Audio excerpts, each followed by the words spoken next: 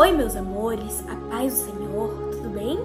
Estamos começando mais um programa e já quero pedir você para deixar o seu like, que é muito importante.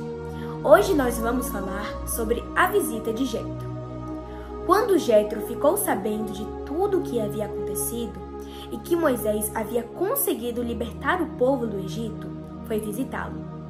Ao chegar lá, Moisés contou toda a história sobre as pragas, o Mar Vermelho e os milagres diários de Deus, que não os deixou passar fome ou sede durante a caminhada.